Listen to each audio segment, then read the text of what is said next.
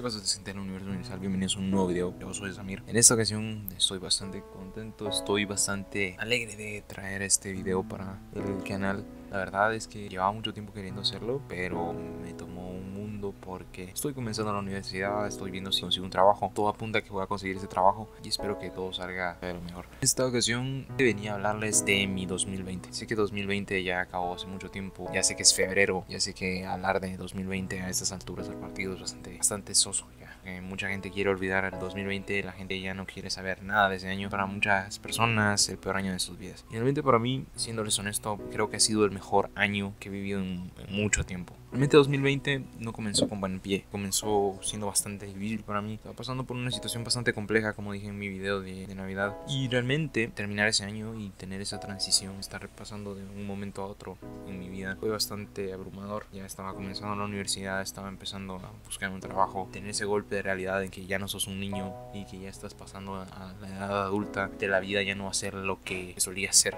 Yo comencé ese año sintiéndome bien porque estaba de vacaciones, pero ya cuando todo volvió a la normalidad me sentí bastante abrumado. Tuve bastantes problemas y dije, bueno, no, no, no puedo seguir así. Y empecé a recurrir a ayuda psicológica.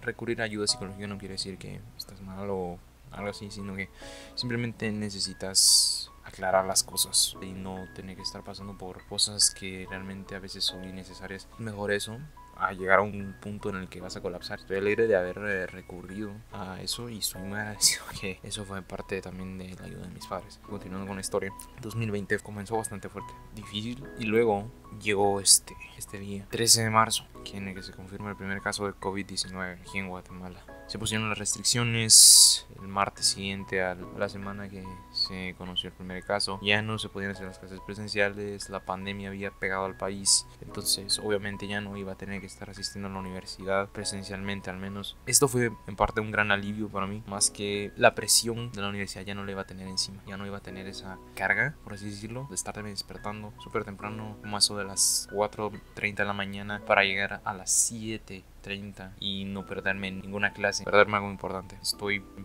parte agradecido por eso. Es mucho más fácil, es mucho más accesible estudiar desde tu casa, estar yendo presencialmente a un lugar que está prácticamente 14 kilómetros de donde vos vivís. Entonces, la verdad es que cuando comenzaron las clases, este semestre ni siquiera era de, miren, aquí está el link, únanse y pues, no, no era así. Nada que ver. Era básicamente, manden tareas, vamos a subir guías, ahí está el PDF, la buena de Dios. Y después llegó el momento en el que teníamos que hacer los exámenes y estar haciendo trabajos, pues, pero eran bastante pesados. No eran un trabajito de 5 páginas y ahí está. Tenían que ser trabajos largos, tenían que ser trabajos que obviamente no podían ser paste no tuve que hacer tanto esfuerzo como lo tendría que haber hecho si hubiera sido presencialmente. Entonces, 2020, la primera parte así fue marzo, abril, mayo fue el mes en el que culminó el primer semestre de la universidad. Salió el 90% bien. Eh, lastimosamente no probé un curso, entonces por lo cual lo tengo que repetir este año, lo cual ya estoy haciendo. Y todo va marchando bien, todo, todo está empezando bien.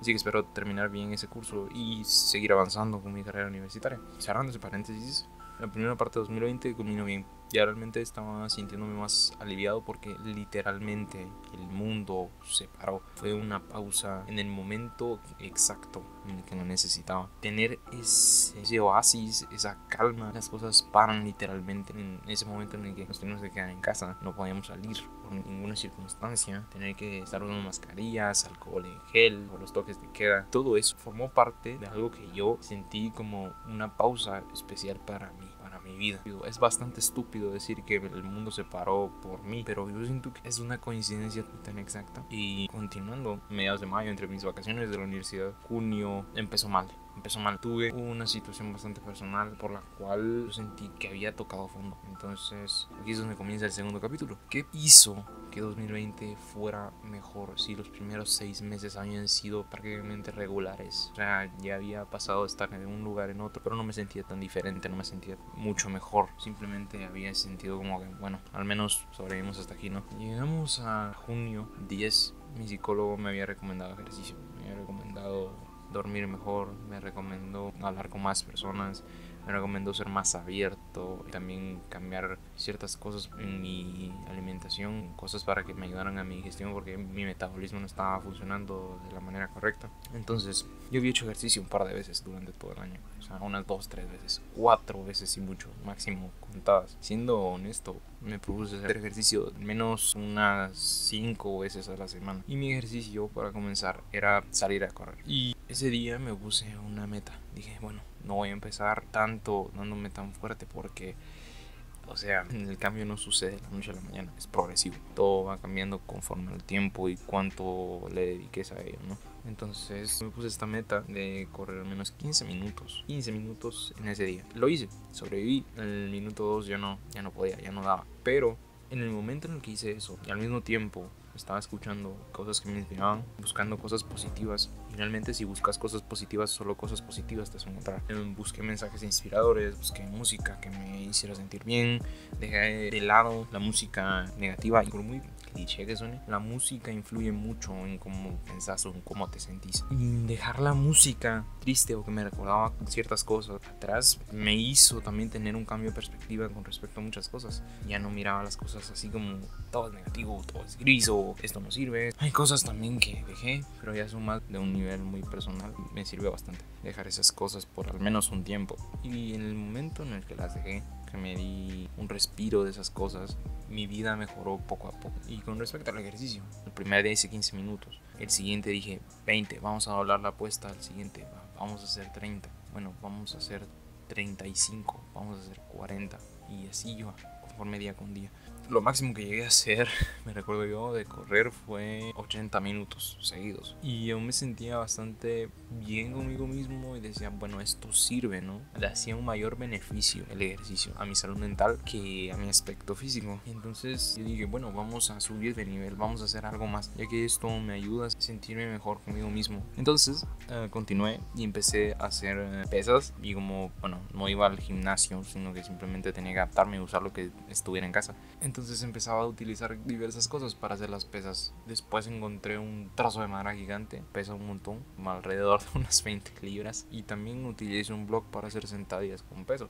Y esto fue como alrededor del mes de junio, julio, agosto, septiembre y octubre. Realmente yo sentí que mi vida pudo tener una mejoría porque ya no pensaba tan negativamente como antes. Y no es que decidiera, ah, sí, ya no me voy a sentir mal, sino que fue un cambio que pasó poco a poco. No fue que las cosas pasaran de la noche a la mañana. Habían días en los que me sentía mejor que otros, habían días en los que me esforzaba más que en otros. Había unos días en los que no me esforzaba para nada, había otros días en los que sudaba hasta la gota que más me doliera. Y también escuchaba muchas cosas positivas, cosas que me hacían pensar y reflexionar. Estoy haciendo lo que quiero con mi vida, estoy haciendo lo necesario para sentirme bien conmigo mismo. Y fue poco a poco que esas cosas hicieron que yo estuviera mejor. En julio, pues regresó a la universidad. Al principio yo sentí que iba a ser bastante difícil porque en este momento ya iban a empezar las clases semipresenciales, que son las clases en línea.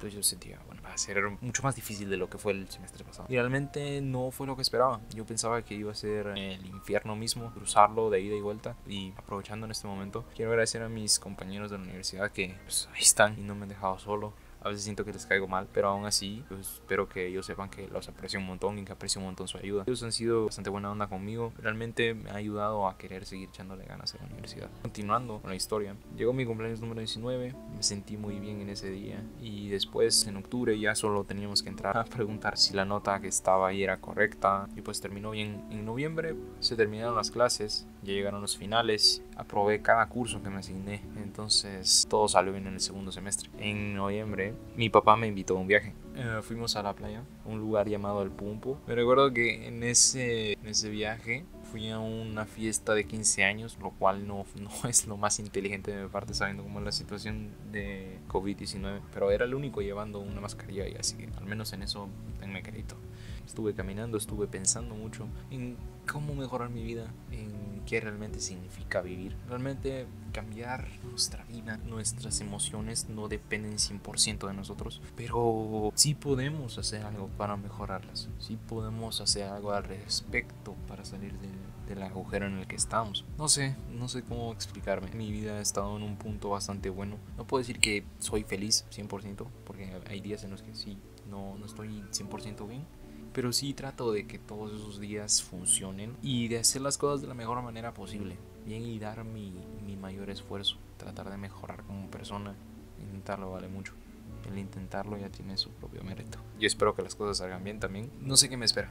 Eh, estoy muy emocionado porque también voy a conseguir trabajo que estaba buscando. Trabajo por unos dos meses. No es que no haya podido conseguir, sino que simplemente la universidad la tengo que estudiar en la mañana, entonces necesito un trabajo en las tardes. Acabo de encontrar un lugar en el que puedo trabajar en las tardes y un lugar en el cual encajo de la mejor manera posible. Si llegaste a esta parte, pues te agradezco mucho por ver este video. No sé si les es tedioso a, a mis suscriptores estar oyendo mis historias y estar hablando, estarme oyendo hablar. Y espero que ustedes estén bien si vieron esta parte del video, pues díganme qué otras cosas quieren ver. Yo espero poder subir un video en la próxima semana. Ya tengo un par de ideas para videos. Creo que van a estar buenos. Espero que estos videos sean, sean buenos para ustedes como lo son para mí. Los veré en un próximo video, gente. Órale.